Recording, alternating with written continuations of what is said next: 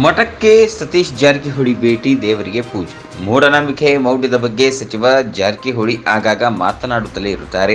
ಅನಿಷ್ಟ ಪದ್ಧತಿಗಳ ವಿರುದ್ಧ ಆಗಾಗ ಜನಜಾಗೃತಿ ಮೂಡಿಸುತ್ತಾ ಇರುತ್ತಾರೆ. ಸಾಮಾನ್ಯವಾಗಿ ಸ್ಮಶಾನದಲ್ಲಿ ಜಾಗೃತಿ ಕಾರ್ಯಕ್ರಮ ಮಾಡಿ ಸ್ಮಶಾನದಲ್ಲಿ ತಮ್ಮ ಕಾರಿಗೆ ಪೂಜೆ ಮಾಡಿಸಿ ಸತೀಶ್ ಜಾರಕಿಹೊಳಿ ಸುದ್ದಿಯಾಗಿದ್ದರು ಹಿಂದೊಮ್ಮೆ ತಮ್ಮದು ಮಾನವ ಕುಲ, ಮಾನವ ನಕ್ಷತ್ರ ಅಂತ ಹೇಳಿದರು.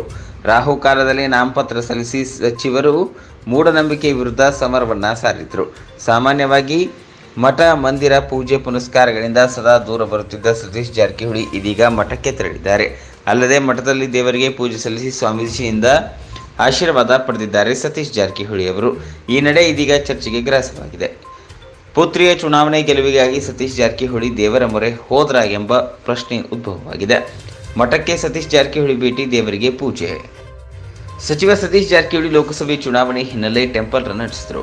ಬೆಳಗಾವಿ ಜಿಲ್ಲೆ ಹುಕ್ಕೇರಿ ತಾಲೂಕಿನ ನಿಡ್ಸೋಶಿಯ ದುರದುಂಡೇಶ್ವರ ಮಠಕ್ಕೆ ಆಗಮಿಸಿ ಸಚಿವರು ಶಿವಲಿಂಗೇಶ್ವರ ಸ್ವಾಮೀಜಿಗಳ ಆಶೀರ್ವಾದ ಪಡೆದು ಬಳಿಕ ಮಠದಲ್ಲಿನ ದೇವರಿಗೆ ಪೂಜೆ ಸಲ್ಲಿಸಿ ಆಶೀರ್ವಾದ ಪಡೆದರು.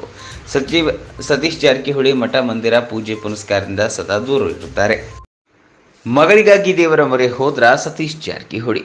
ಸದಾ ದೇವಸ್ಥಾನಗಳಿಂದ ದೂರ ಇರುತ್ತಿದ್ದ ಸತೀಶ್ ಜಾರಕಿಹೊಳಿ ಇಂದು ಮಠಕ್ಕೆ ಭೇಟಿ ನೀಡಿದ್ದಲ್ಲದೆ ದೇವರಿಗೆ ಪೂಜೆ ಸಲ್ಲಿಸಿದ್ದಾರೆ. ಇವೆಲ್ಲ ಮಗಳ ರಾಜಕೀಯ ಭವಿಷ್ಯಕ್ಕಾಗಿ ಎನ್ನಲಾಗ್ತಿದೆ ಏಕೆಂದರೆ ಸತೀಶ್ ಜಾರಕಿಹೊಳಿ ಪುತ್ರಿ ಪ್ರಿಯಾಂಕಾ ಜಾರಕಿಹೊಳಿ ಜಿ ಚಿಕ್ಕೋಡ್ಗಿಂತ ಲೋಕಸಭೆಗೆ ಸ್ಪರ್ಧಿಸಲಿದ್ದಾರೆ ಎನ್ನಲಾಗಿದೆ. ಹೀಗಾಗಿ ಮಗಳಿಗಾಗಿ ಸತೀಶ್ ಜಾರಕಿಹೊಳಿ ದೇವರ ಮೊರೆ ಹೋದ್ರ ಎಂಬ ಚರ್ಚೆ ಶುರುವಾಗಿದೆ.